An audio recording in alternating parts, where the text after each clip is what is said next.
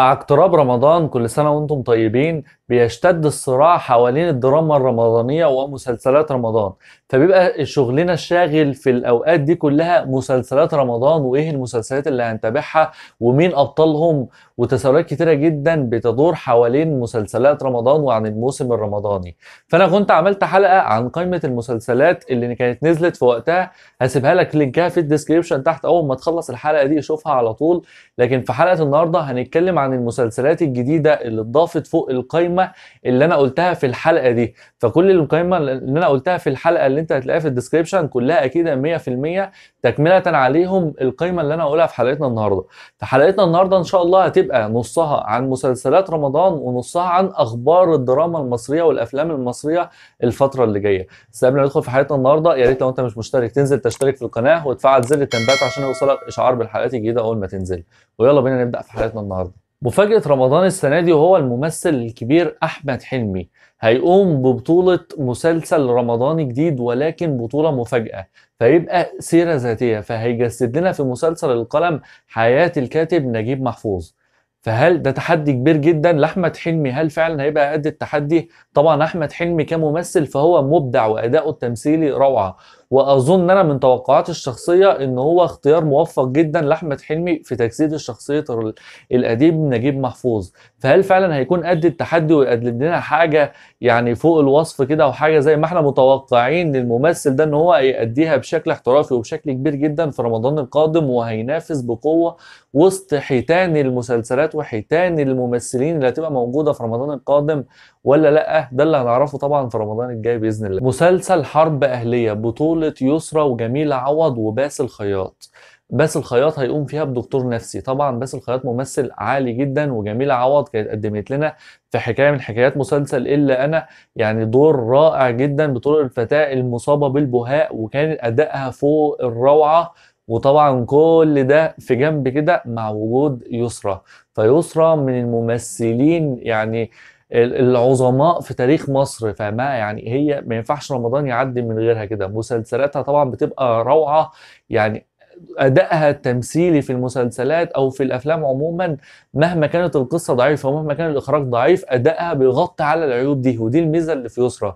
فيسرى من الممثلات النادرات اللي هتيجي في تاريخ مصر كلها. فإحنا قدام مسلسل مع اجتماعها مع باسل خياط اللي هو ممثل روعة برضه شخصيه الدكتور النفسي دي فيعني هتبقى قوية جدا منه مع الجميلة جميلة عوض وأدائها الرائع. فيبقى مسلسل قوي جدا يعني زي ما قلت في كده رمضان القادم كده تبقى المنافسة شرسة ويعني حاجة قوية جدا في انتظارنا بإذن الله. الواحد مش عارف يتابع إيه ولا إيه وهيقدر يغطي كام مسلسل من المسلسلات اللي موجودة دي كلها. للأسف غادة عادل بتعتذر عن دورها في مسلسل بين السماء والأرض في رمضان وبكده هي هتغيب عن الدراما الرمضانية القادمة رسميا وترشح مكانها في الدور ده هي الممثلة درة. طبعا المسلسل من بطولة هاني سلامة ويعني اتكلمنا عنه في القايمة وفي الحلقة اللي هتلاقيها تحت في description. طبعا رمضان ما ينفعش برضه من غير نيللي كريم. فنيللي كريم يعني على مدار المواسم اللي فاتت من رمضان بتقدم لنا مسلسلات قوية جدا جدا جدا.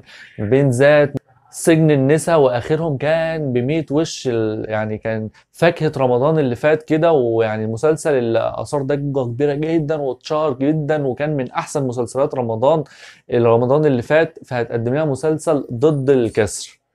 بيشاركها في البطولة محمد فراج وهيقوم بزوجة بزوج الفنانة نيلي كريم في المسلسل.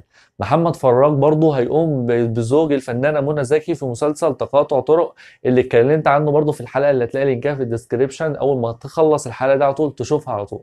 فطبعا محمد فراج ممثل عالي جدا عالي جدا إن هو يبقى موجود في بطولة مسلسلين في رمضان. دي حاجة عظمة قوي يعني.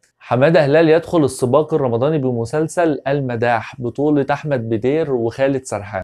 يوسف شعبان يعود للدراما الرمضانية في مسلسل عش الدبابير بطولة مصطفى شعبان وأحمد سعد وعمرو عبد الجليل اتكلمت برضه عن المسلسل ده بشكل أكبر في الحلقة اللي link ها في description. بعد التألق في دور فتحي في مسلسل البرنس رمضان 2020 اللي خد بيه جايزة أحسن ممثل في رمضان وعن جدارة وشخصية فتحي اللي اتشهرت جدا جدا ويعني كان أثار جدل كبير جدا على منصات التواصل الاجتماعي اللي علّى على محمد رمضان في مسلسل محمد رمضان وخد منه أحسن ممثل في المسلسل وأحسن ممثل في رمضان للأسف أحمد زاهر بيغيب عن دراما رمضان 2021 كان طبعا اترشح لمسلسل ابن الأندال ولكن قال مفيش نصيب للمسلسل لأسباب ما صرحش بيها إيه فللأسف يعني السباق الرمضاني القادم فقد ممثل كبير جدا جدا منه. مصطفى قمر يدخل السباق الرمضاني بمسلسل فارس بلا جواد. وربنا يستر يعني مصطفى قمر وحماده هلال مسلسلات في رمضان يعني ربنا يستر. مسلسل خلي بالك من زيزي بطولة أمينة خليل وبيومي فؤاد ومحمد ممدوح. طبعا محمد ممدوح بيعلي أي مسلسل لأنه ممثل كبير جدا فأنا منتظر المسلسل ده برضه. أحمد عبد العزيز وكامل أبو ريا بيجتمعوا بعد مرور 20 سنة بعد مسلسل سوق العصر اللي اتعرض في 2001 واللي حقق نجاح كبير جدا ولحد دلوقتي بيستخدموه في الكوميكات على الفيسبوك وعلى منصات التواصل الاجتماعي. بيعودوا مع بعض في مسلسل صعيدي تاني اسمه أهل الشر.